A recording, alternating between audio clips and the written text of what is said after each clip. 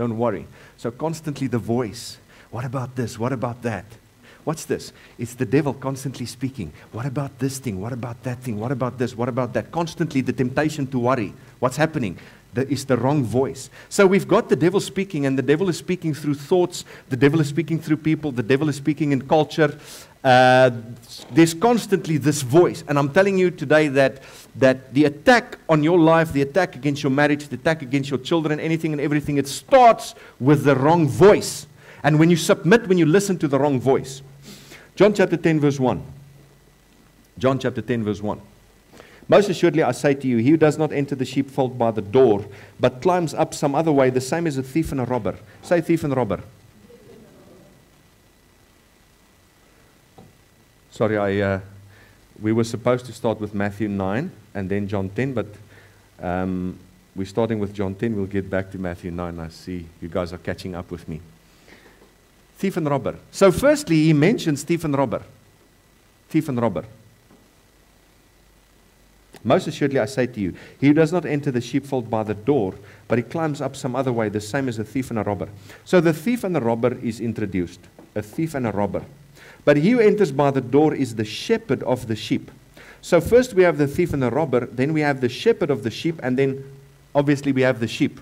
So we've got three characters here. We've got the thief and the robber, we've got the shepherd, and then we have the sheep. Verse 3 To him the doorkeeper opens. So that's the shepherd. To him the doorkeeper opens, and the sheep hear his voice. And he calls his own sheep by name and he leads them out. So the shepherd, the sheep hear the voice of the shepherd. Okay?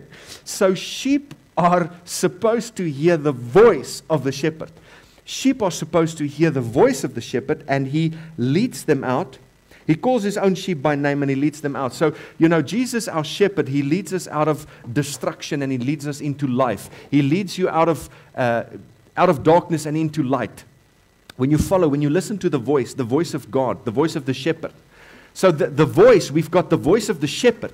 And if you listen to the voice and you follow the voice, then that voice will always lead you out of and into, out of destruction and into life, out of darkness and into wonderful, glorious life, out of defeat and into victory, out of poverty and into prosperity, out of sickness and disease and into healing and health. When you hear the voice of the shepherd, when you hear the voice of the shepherd and you follow him, that's very important. Follow. I want to tell you that, yes, faith comes by hearing and hearing by the word of God. But we must understand, and Christians must understand, that faith is not passive. Faith is active. Faith is active. Faith does something. You know, God said to Joshua, Go. Joshua 1. Go, cross the Jordan and go. You, I had to go. Every place the sole of your foot treads upon, I have given you. So I've given you the land, but you've got to go and take it. Go and make disciples. Go and make disciples. Go and make disciples. What did they do? They stayed in Jerusalem. Go and make disciples and be witnesses in Jerusalem, Judea, and to all the earth. And what did they do? They stayed in, they stayed in Jerusalem until trouble and persecution comes.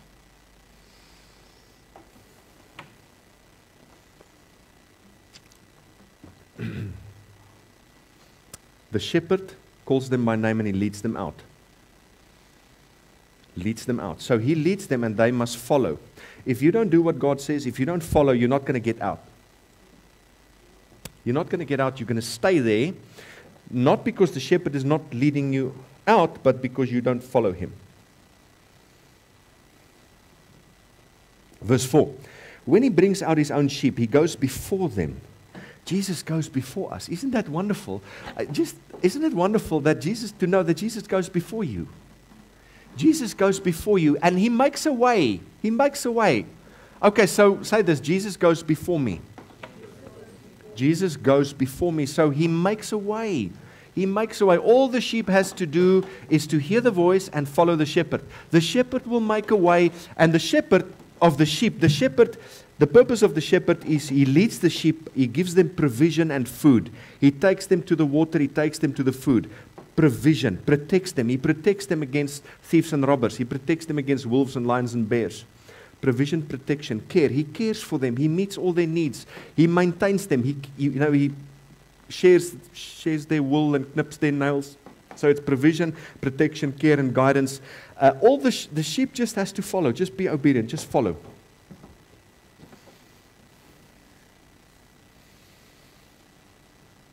When he brings out his own sheep, he goes before them, and the sheep follow him, for they know his voice. The sheep follow him, for they know his voice. It's very important for the sheep to know the voice of the shepherd. So we must know the voice of the shepherd. We must spend our time with the voice of the shepherd, not the voice of the stranger. Not the voice of the stranger. We're going to look at that this morning. Verse 5 Yet they will by no means follow a stranger. Remember the thieves and the robbers. The thieves and the robbers, they are strangers. So the sheep will by no means the sheep will by no means follow a stranger, but they will flee, flee, they will flee from him, for they do not know the voice of, the, of strangers. Yet they will by no means follow a stranger, but they will flee from him, for they do not know the voice of strangers. I want to say to you this morning that as Christians, a lot of our problems is because we know the voice of, of the stranger. You, you listen to the stranger, you listen to the wrong voice you listen to the wrong voice. My problems, I have certain problems in my life because I listen to the wrong voice. So, as long as you listen to this voice, you will have these problems. Not only will you have these problems, but I want to tell you if you keep on listening to this voice, the problems will increase and abound and will overtake you. It will overtake you because the thief has come for no other reason but to steal, to kill, and to destroy. And he will not stop ever. Ever. He will not stop. Ever. Until you are destroyed completely. So you don't give the devil only a little bit. No, you give him a little bit then he advances. He takes a step into, into your life. You give him a little bit, he takes another step. Where does he stop? He does not stop. Ever. Seeking whom he may devour. Your adversary, the devil, walks about like a roaring lion, seeking whom he may devour. I've heard a study by teacher Rick Renner. That word devour is the idea of, a bit disgusting, but the idea of, like a lion, he's already eaten the prey, and now he licks up the blood and fluid that remains. He slurps it up. So the devil, his plan is to devour, to destroy to destroy everything, to eat up everything, and then to slurp up what remains. Your adversary. We cannot follow strangers. We cannot follow the voice of a stranger. We cannot follow the voice of strangers. We must flee from the stranger. We cannot know the voice of stranger. We cannot fellowship with the voice of strangers. Yet we often do. Yet often Christians fellowship with the wrong voice. Verse 7 Then Jesus said to them again, Most assuredly I say to you, I am the door of the sheep. I am the door. Jesus is the door for the sheep into life. All who ever came before me are thieves and robbers, but the sheep did not hear them. The sheep did not hear them. I am the door. If anyone enters by me, he will be saved. He will go in and out and find pasture. Pasture is everything a sheep needs. Everything a sheep needs. Do you understand? God has everything you need. He has, Jesus is everything you need. He makes me, the Lord is my shepherd, I shall not lack. I will have no lack because Jesus is my shepherd. He makes me lie down in green pastures. So I am a happy sheep. I'm lying down in green pastures. He leads me by the still waters. He restores my soul. He leads me in paths of righteousness. Though I walk through the valley of the shadow of death, and you know, sometimes and often in life, we walk through the valley of the shadow of death. Unfortunately, sometimes we stop and we camp in the valley of the shadow of death instead of walking through it. I am the door. If anyone enters by me, he will be saved. He will go in and out and find pasture. Verse 10 The thief does not come except to steal and to kill and to destroy.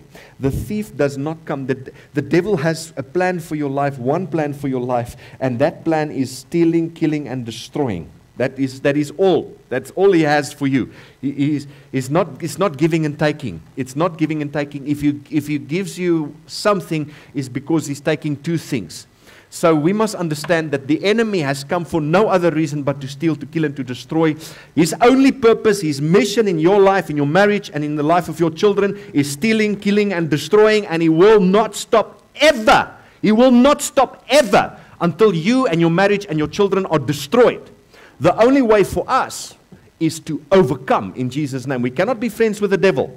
We cannot be friends with the devil. The Bible says, submit to God, resist the devil, and he will flee. We overcome. We overcome by the blood of the Lamb and the word of our testimony. But the problem is to submit to God, resist the devil.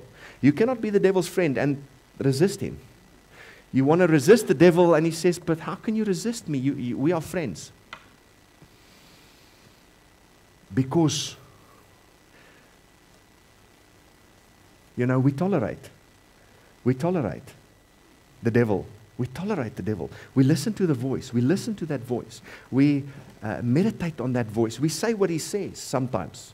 I, I'm not talking about us, I'm talking about Christians generally. And sometimes when we are attacked and we submit to that voice, we sub, you, when you submit to that voice and you th- start thinking that thing, you start thinking it. Now the Bible says, as a man thinks, so is he. So the voice was put into your head that you are not good enough. That was the devil speaking to you. But now that's you thinking, I'm not good enough. I'm not good enough.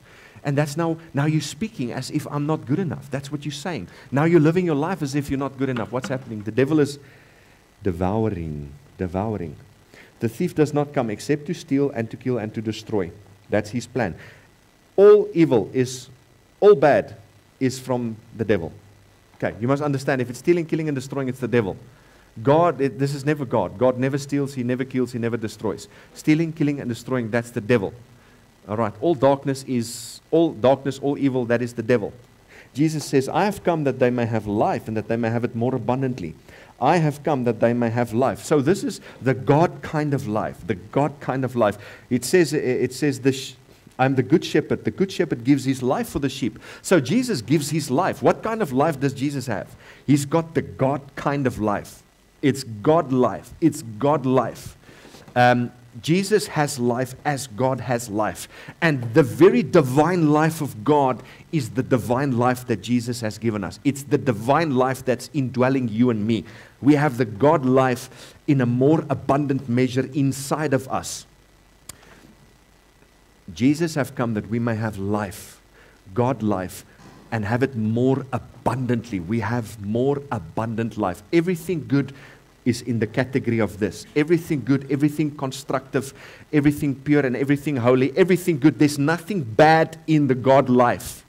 There's nothing bad in the God life. If it's bad, it's not in the God life, it is in destruction. So, so stealing, killing, and destroying, sickness and disease and poverty and lack, all of those things is destruction, destruction, defeat. That's the devil.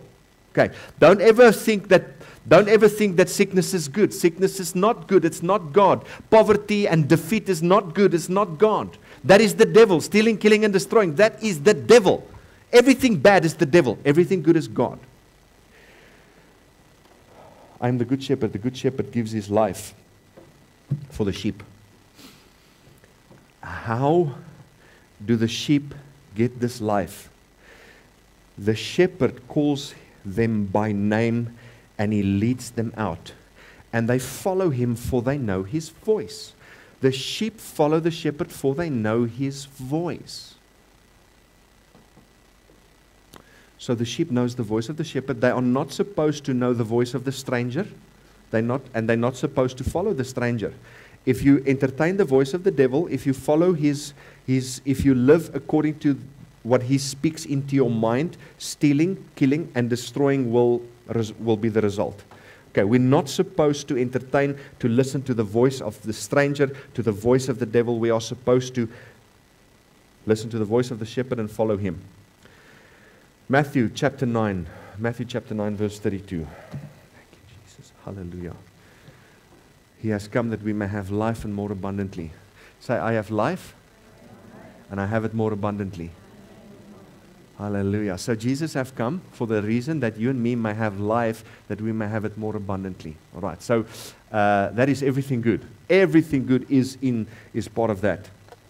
Matthew chapter 9, verse 32. Um, as they went, behold out, as they went out, behold, they brought to him a man, mute and demon possessed.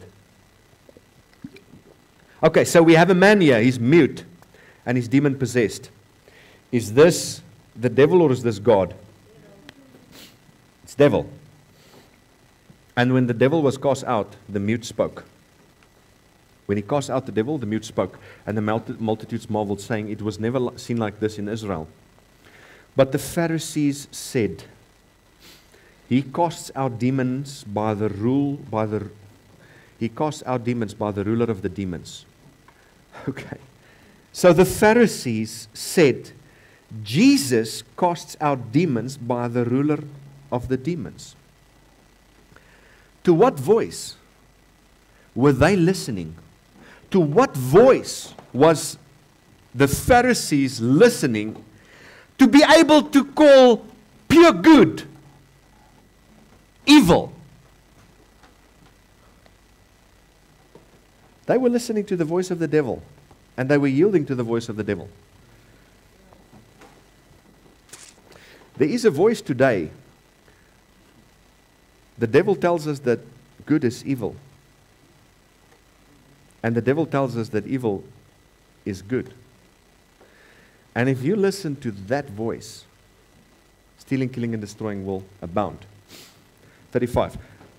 And then Jesus went out all the cities and villages. So Jesus went out teaching in the synagogues, preaching the gospel of the kingdom, and healing every sickness and every disease among the people.